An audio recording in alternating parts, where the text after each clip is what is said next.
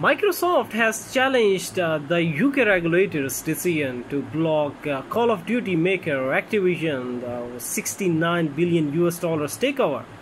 Microsoft is appealing the United Kingdom's uh, decision to prohibit its uh, 69 billion US dollars merger of Call of Duty creator Activision Blizzard because uh, to fundamental errors uh, in the evaluation of Microsoft's cloud gaming services the Competition and Markets Authority CMA of the United Kingdom banned the agreement in April, claiming it would harm competition in the embryonic cloud gaming business.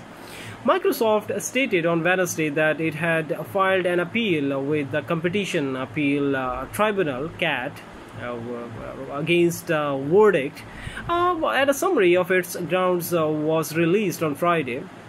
According to the summary, the CMA is finding that the merger would result in a significant reduction in competition in the United Kingdom's cloud gaming industry was incorrect.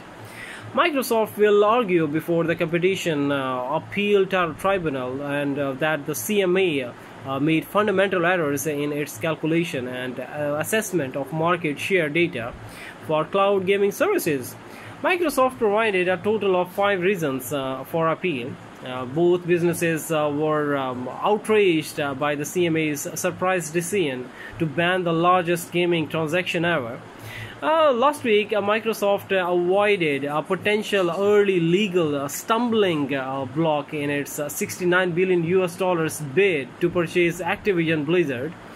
when a US court declined to allow gamers in a private complaint to preliminary stop the acquisition, in December, uh, private uh, um, plaintiffs uh, sued Microsoft in federal court in California, seeking an uh, injunction against the uh, acquisition, uh, which they claimed was damaging to competition.